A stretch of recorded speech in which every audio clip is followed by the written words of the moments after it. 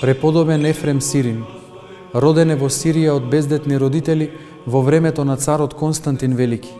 Својата рана младост ја поминал многу бурно, но наеднаш настанал пресврт во неговата душа и тој почнал целиот да гори со љубов кон Господа Исуса Раснатиот. Бил ученик на светиот Јаков Нисибиски. Од големата Божја благодат се леела мудрост од неговиот јазик како меден поток, а од очите непрестајно му течеле солзи. Бил трудолюбив како пчела и непрестајно пишувал книги или усно ги поучувал монастите во манастирот и народот во градот Едеса. Самиот пак се предавал на молитви и на големи размислувања. Многубројни се неговите книги, прекрасни се неговите молитви.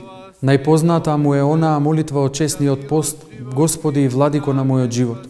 Кога сакале со сила да го земат за епископ, тој се направил безумен и почнал да трча низ градот Едеса, влечејќи ја по себе својата облека. Кога го виделе тоа луѓето, се откажале од намерата да го постават за епископ. Бил современик и пријател на светиот Василий Велики. Светиот Ефрем главно е апостол на покајанието. Неговите списи и денес омекнуваат многу срца закоравени од гревот и ги враќаат кон Христа воскреснатиот.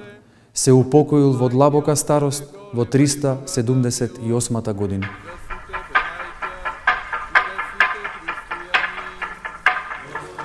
Преподобен Исак Сири, роден е во Нинив и додека бил млад се подвизувал во манастирот Марматејски. Кога се прочул поради својата светост на животот и поради многуте чуда, бил избран за епископ Нинивиски и бил приселен да го прими тој чин.